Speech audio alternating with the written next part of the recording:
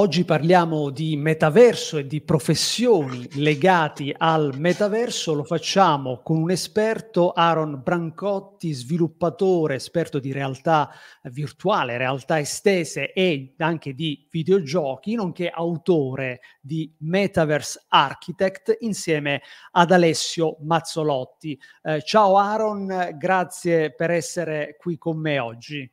Ciao Vincenzo, grazie, grazie a te per, per l'invito.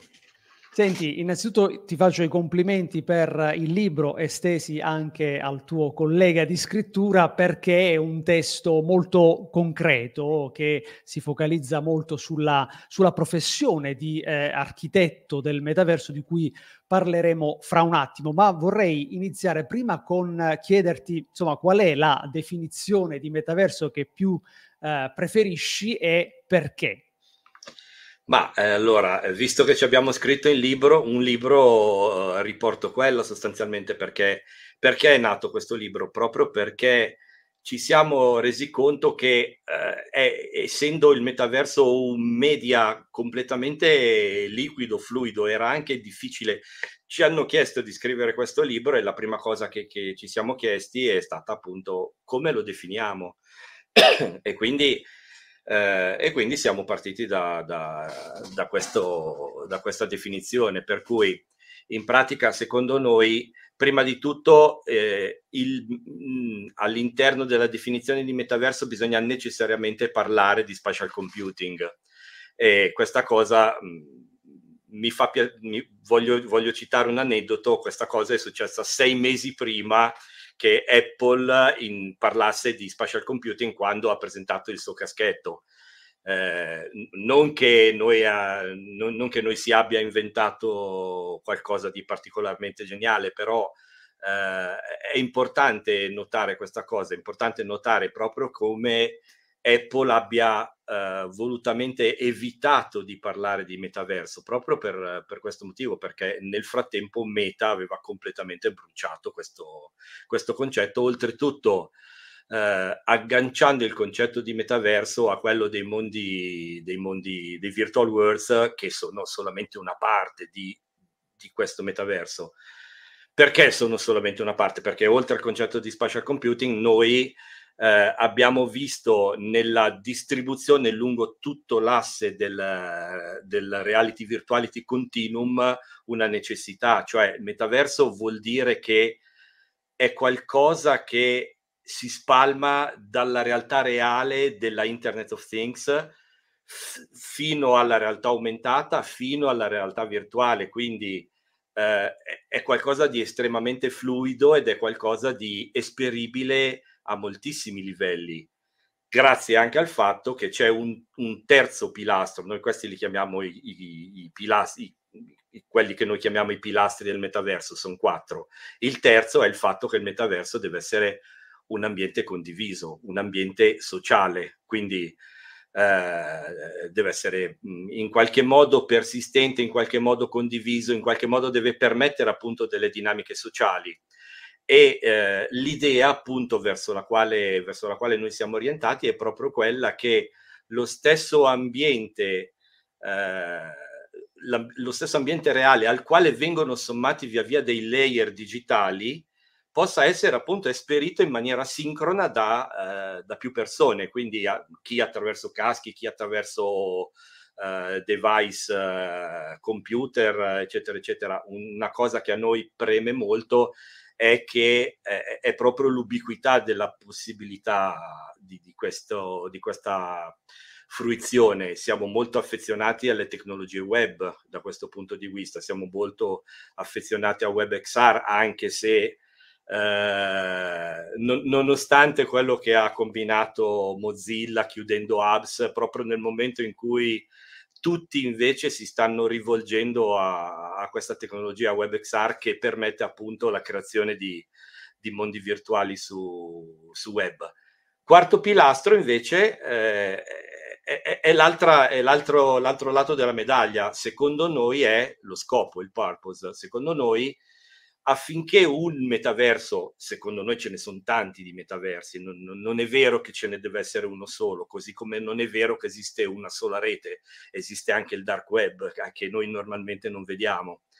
Eh, secondo noi un metaverso deve avere uno scopo, altrimenti la sua, la sua accettazione, la sua adozione non funziona nel, nel, libro facciamo infatti alcuni, alcuni, esempi di metaversi che hanno avuto più o meno fortuna proprio in base al, al fatto che abbiano un purpose forte, cioè eh, se devi fare simulazioni scientifiche di un certo peso utilizzi Omniverse che è potentissimo da quel punto di vista, se devi fare altre cose, eccetera, eccetera, eccetera. Insomma, questi sono certo. veramente in cinque minuti le quattro, le quattro dorsali nel, lungo le quali si, si, sviluppa il nostro libro.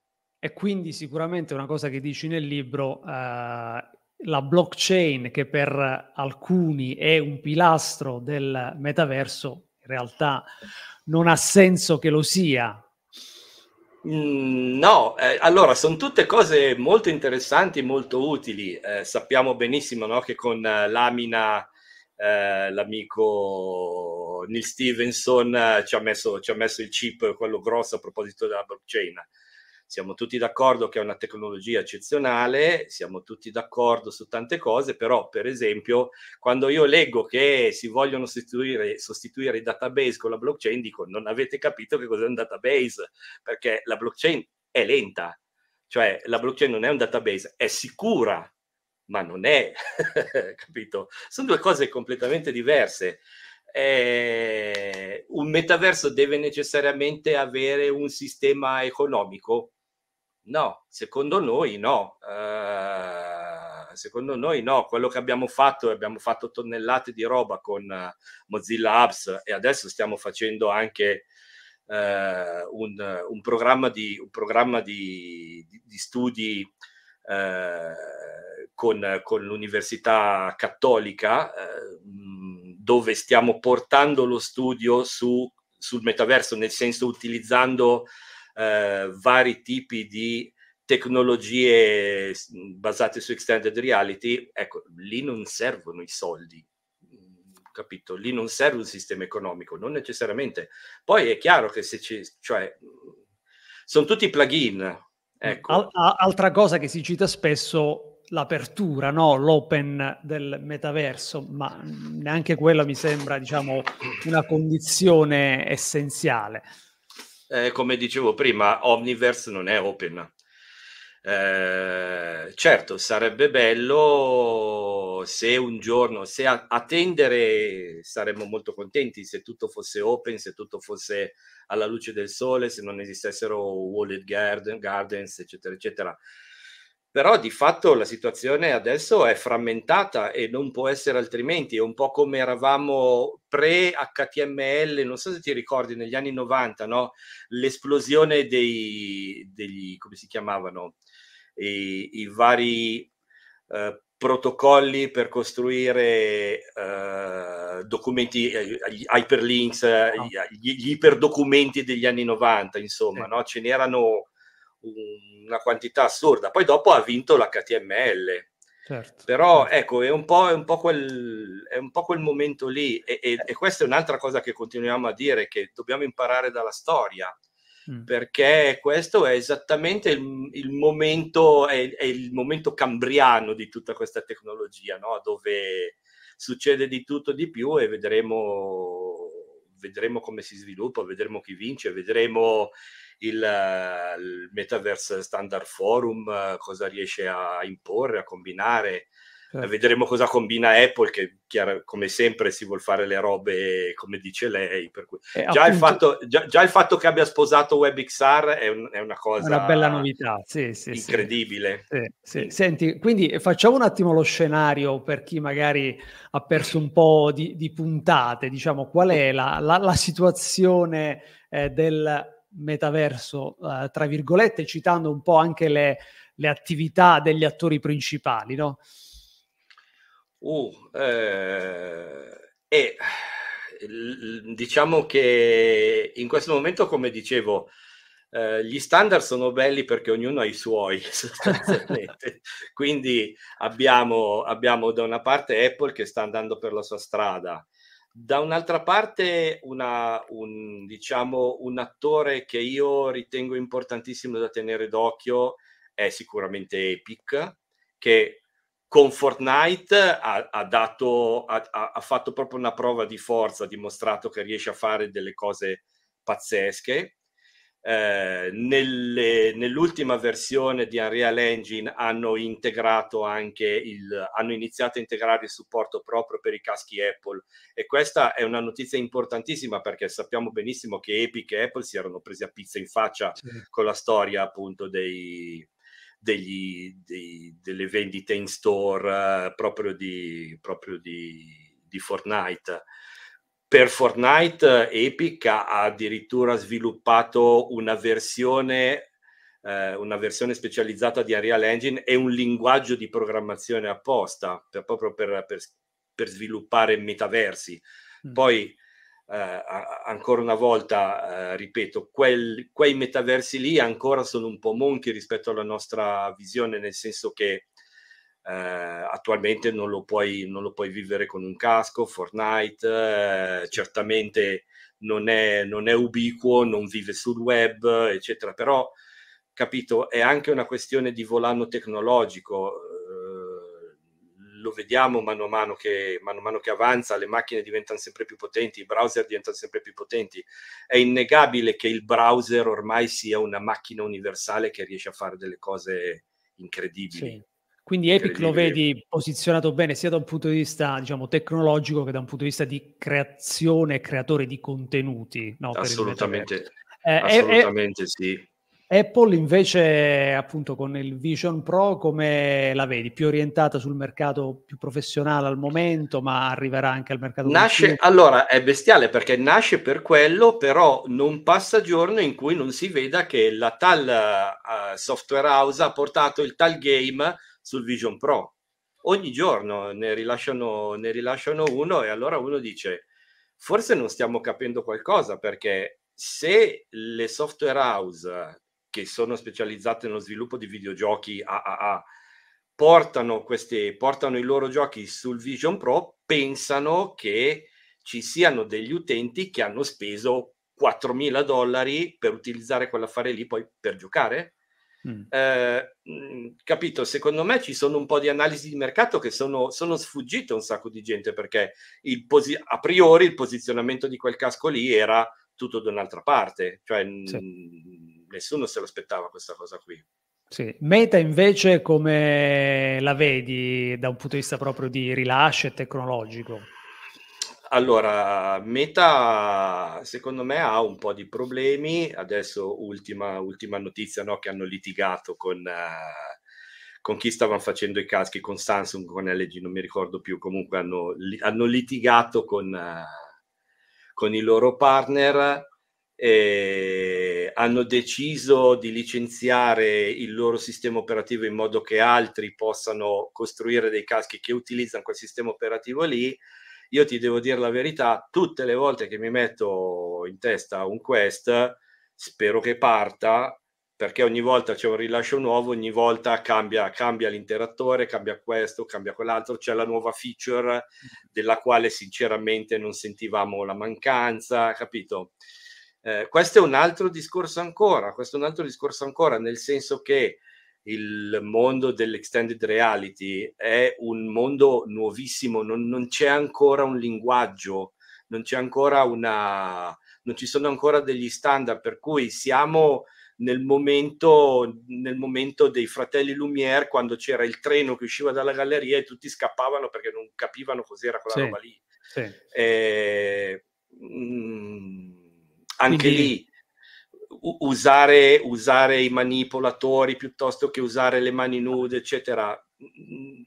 Tan- ci sì. sono veramente tantissime considerazioni da fare su, su, su, tutto quello che ancora non è stato capito e non è stato standardizzato. Eh, ammesso, che verrà, ammesso, che verrà, mai standardizzata sta roba, però io non, non, non, riesco a togliermi dalla testa che da quando cioè, è, nato, è, è nato il multitouch e adesso noi facciamo, facciamo così sul, sì. sugli schermi anche non multitouch per farlo zoom, quella roba lì, quelle gesture lì sono diventate una nostra seconda natura. Sì. E io mi aspetto che succeda lo stesso anche per l'extended realities, per, sì. per, per l'XR. E senti, altri attori ben posizionati, chi vedi? Nvidia lo citavi prima per la questione del metaverso industriale, diciamo così. Assolutamente sì, beh, poi loro sono potentissimi anche come sappiamo su intelligenza artificiale, anche questo qua è un binomio, no? Intelligenza artificiale, metaverso, eh, ci vanno di pari passo, una serve all'altra, eh, anche questo è...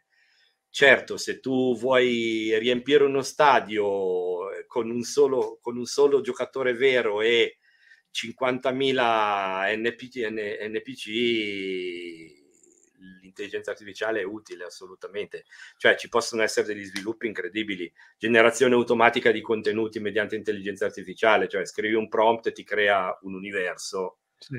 Sì. Capi- capisci che la cosa diventa. Invece Google, come lo vedi, un po' silente, ma fa i suoi accordi, diciamo, ancora però non vediamo risultati. Google, uh, Google grande mistero. Google uh, ha aperto e chiuso roba sistematicamente. Google, cioè, sono quelli, sono quelli dei, degli occhialini di cartone. Ancora prima, non so se tu ti ricordi Google Lively, era una sorta sì. di, di, Second Life di Google, ma parlo di forse sì, di 15 sì. anni fa, una roba del genere che a un certo punto è scomparsa. Non lo so, eh, Google è veramente, è veramente, un mistero da questo punto di vista. Non, eh, non, non lo so. Altri non attori, mi, mi sbilancio. Altri attori che vedi interessanti, se lo so, in, in, Europa mi viene in mente Vario, che comunque da un punto di vista tecnologico mi sembra ben, ben messo. Allora, loro, secondo me, sì, ci sono un sacco di attori interessanti da un punto di vista tecnologico, appunto. Mm però non basta. Cioè, no. quello che vince poi alla fine è l'ecosistema. Eh, è quello che ha fatto la fortuna di Apple alla fine, no? Perché, mh, mm, eh, perché, perché Apple è diventata Apple? Perché ti vende degli affari che si parlano tra loro senza problemi, fanno il backup da soli, tu lo compri, lo accendi, è pronto da utilizzare, c'è già su le, robe che ti servono eh, sono gli ecosistemi che vincono, sono gli ecosistemi che vincono. E purtroppo io di uno che potrebbe fare degli ecosistemi incredibili è Google, ma appunto boh, vedremo, non lo so, vedremo. Non lo so. Senti, vediamo alla, al focus del, del libro, eh, il Metaverse Architect, questa, questa, figura insomma interessante di cui voi parlate nel libro. Ci spieghi chi è e poi vediamo insieme anche le skill che dovrebbe avere. Sì, allora, il Metaverse Architect sostanzialmente è una figura mitologica, non esiste il Metaverse Architect secondo noi perché appunto il, quest, questi, questi, media, quest, questa XR, questo metaverso è una, diciamo, una convergenza di tecnologie una convergenza di conoscenze che è veramente spalmata a 360 gradi. Non è solamente una questione tecnologica, è anche una questione sociologica, è anche una questione antropologica.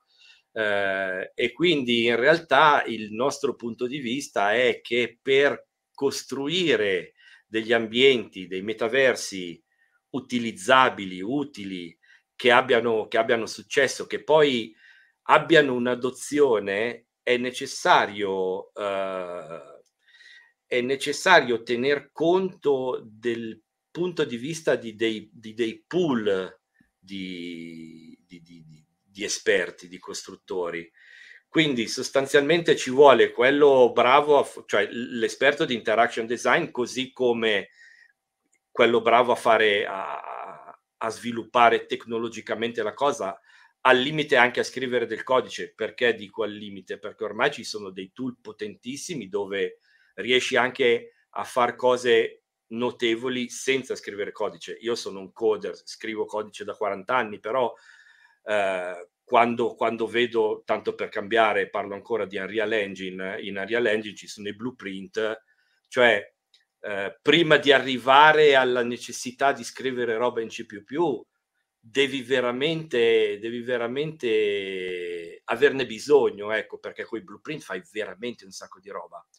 E quindi hai bisogno, per tornare al Metaverse Architect, in realtà deve essere un pool, perché poi hai bisogno di un sociologo, perché quella roba lì è importantissima, perché devi capire quali sono i motivi per cui tu stai proponendo un, un metaverso e a chi lo stai proponendo. Mm, altrimenti, altrimenti rischi veramente di eh, costruire l'ennesimo sistema dove non c'entra nessuno perché dice perché cosa mi serve questa cosa qua cos'è che, cos'è che mi offre che io non possa già fare con un normale computer o con un telefonino o con qualsiasi altra roba eh, ecco, è tutto lì, no? cioè, ci deve essere un valore aggiunto e questo valore aggiunto non, non basta una persona sola, secondo noi, per, per arrivare a, al set di, di, di, di, feature che possono offrire questo valore aggiunto. Cioè, devi anche, devi anche capire qual è il tuo target. E questo è questo, qual è il tuo target? Non è una roba che può capirla un coder. Un coder non lo sa, un, capito? certo. un interaction designer già di più, ma comunque anche lui non è, non è roba sua. Sì. Non è roba sua. E, ehm, e, senti, però tu parli anche, voi parlate nel libro anche di skill hard e soft che queste figure dovrebbero avere, necessarie per, per, per, per avere successo, per emergere. Sì, beh, eh, sì, sono appunto un po' queste. Vabbè, le skill hard sono, sono appunto eh, più legate ad aspetti tecnologici, tecnologici, sono molto più verticali, ecco, cioè eh, diciamo che devono anche essere un po' tutte compenetrate in qualche modo queste, queste skill. Il libro è scritto un po' anche per quello, nel senso che è un libro che se se lo legge un sociologo comunque c'è un capitolo eh, non troppo complicato nel quale parliamo di, degli engine per realtà virtuale, degli engine per videogiochi, dove molto alla lontana spieghiamo le cose che secondo noi è importante che tutti sappiano e viceversa, e viceversa.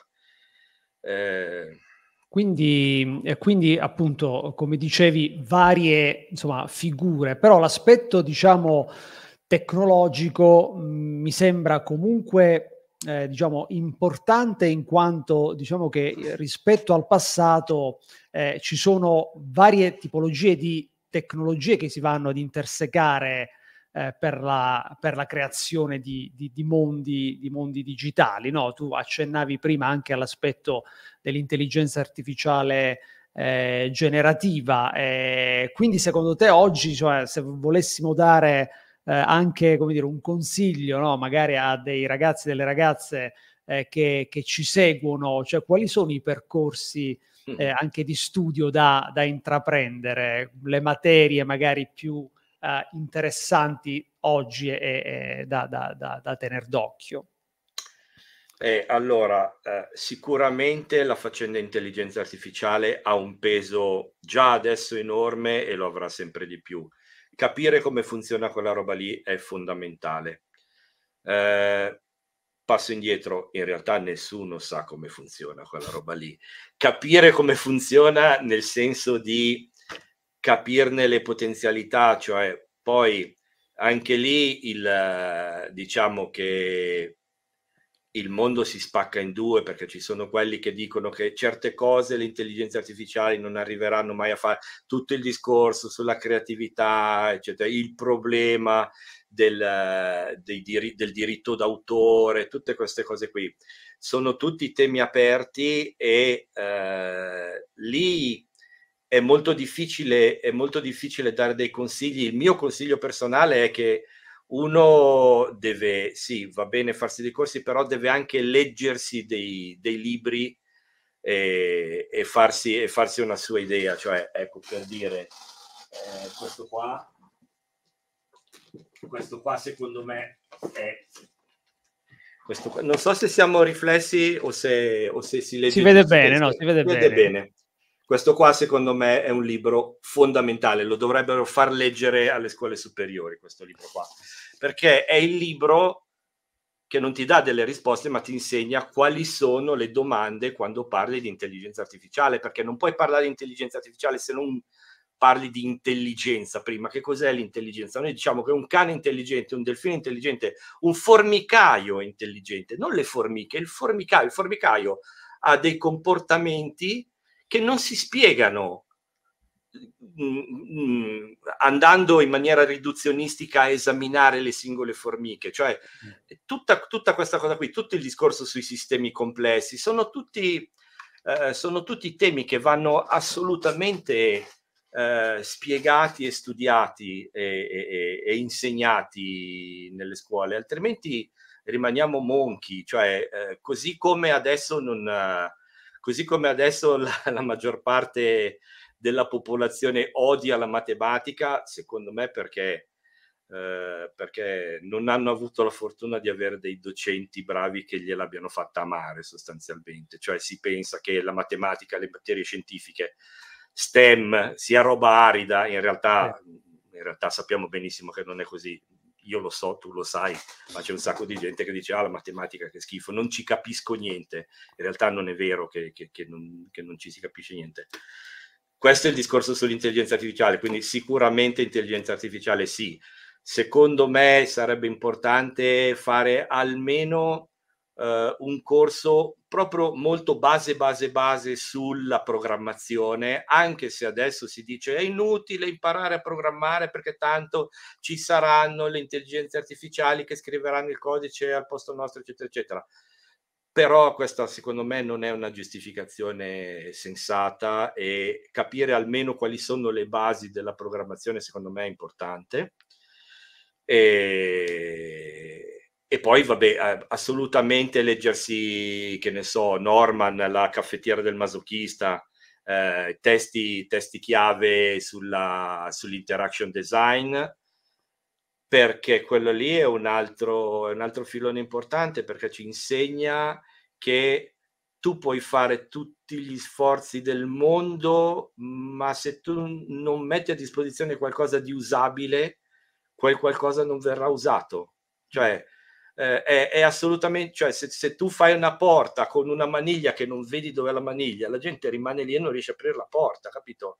Sì. È, è, proprio, io tutte le volte... tutte le volte che entro in un bagno di un locale pubblico e rimango lì più di sette secondi per capire come si fa a far venire giù l'acqua, mi metto a ridere perché dico, com'è che gli è venuta in mente a questo qui? Cioè, inizi, metti lì la mano e l'acqua non viene giù. Allora guardi in giro, eh, esatto. poi guardi per terra se c'è il tastino per terra da schiacciare col piede. È incredibile. Eh, anche questa qui, insomma, son, ci, sono, ci sono un po' di, di, di, di, ci sono sicuramente un po' di, di materie che, che, dovrebbero, che dovrebbero venire, eh, venire studiate sicuramente, sicuramente, sicuramente, ripeto, mm, se devo dare la precedenza a qualcosa, questa.